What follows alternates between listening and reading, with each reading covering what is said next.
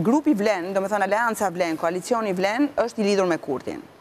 është interesant sepse në këtë rast, me këtë humbje një me dy numrat, unë mund ta thosha që kurti humbi përsa i përket mbështetjes, domethënë, mbështetja që kurti i dha koalicionit vlen, pak a shumë ka marrë votat e Dimitrevskit në Kumanovë. Kështu që në thelb e humbi. lojën. Në Shqipëri nuk arriti dot fare të çajë, aty ka çarë sepse krijon militantizëm, domethënë në në Maqedoni Kurti krijon militantizëm, ata që e ndjekin janë janë të verbër ndaj Kurtit, janë shumë militantë ndaj Kurtit, por arriti qëllimin e ndarjes, domethënë del i fituar, arriti qëllimin e ndarjes, i humbur sepse nuk merr vota. Për mendimin tim ky është Kurti në këto zgjedhje në Maqedoni. Po pse? Në çfarë kuptimi pse? Pse, pse e bëri këtë lojë Kurti? Çfarë donte të arrinte? A, Kurti, qëllimet e Kurtit janë... Ka preferenca për VMRO-n? Jo, jo, dëgjo.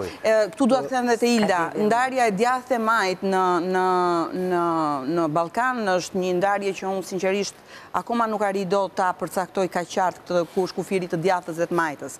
Se po ta mendojmë Kurti në teori e teori teorizimi i Kurtit është që është një parti e majtë, ë? dhe mbështet koalicionin Vlen në në Maqedoninë e Veriut, ku faktikisht teoritë, është gjithë kohën ato kanë thënë jemi vetëm të shqiptarëve me tone shumë raciste bile gjatë fushatës elektorale, duke dënuar faktin që këto të tjerët kishin minoritetet brenda tyre, që Fronti Evropian kishte minoritetet. Kështu që konceptet e majtë e djathtë në Ballkan janë janë relative.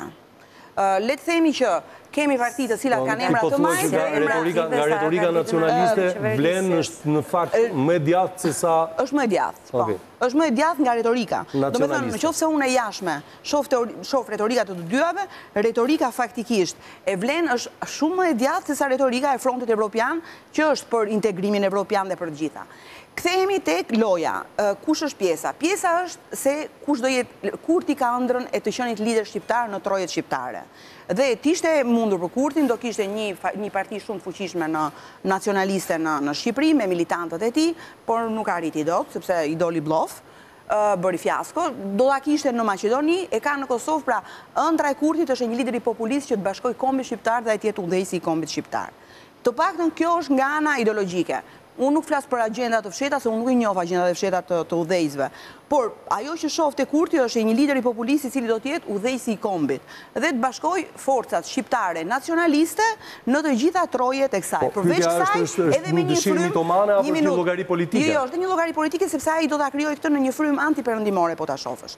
Domethënë, Kurti në të gjitha hapat e tij që lëviz, ushqen popullin e tij, ushqen elektoratin e tij me një frymë antiperëndimore. Dhe këtu kalojmë prapë tek Maqedonia. Ndërsa fronti Ekzagjeron një çik të thuash antiperëndimore, se nuk ka aleat tjetër as Kosova, as Kurti.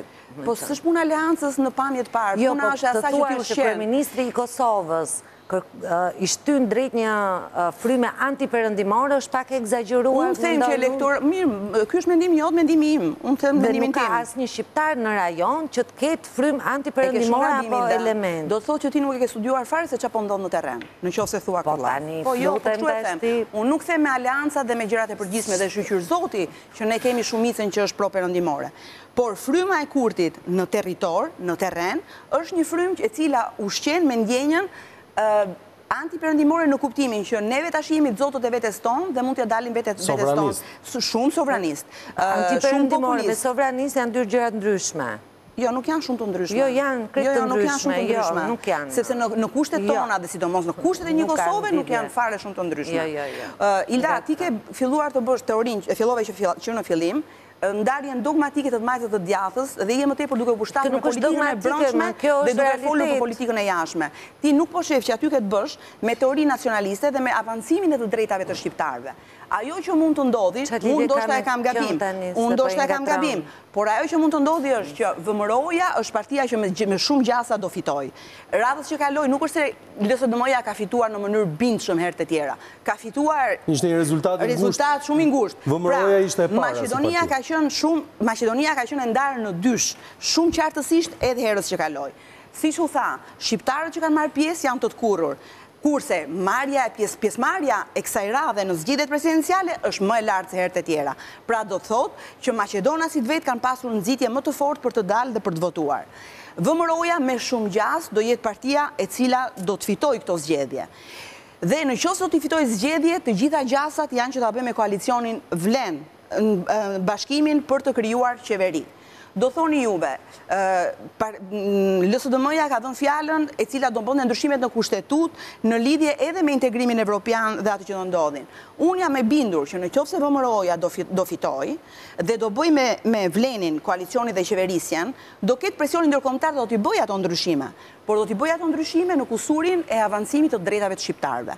Kështu që neve këtu nuk jemi duke folur thjesht për një të majtë dhe për një të djathtë. Jemi duke folur për një koalicion shqiptarësh, me kë duhet të marrim pjesë dhe kush është e mira për avancimin e të drejtave të shqiptarëve.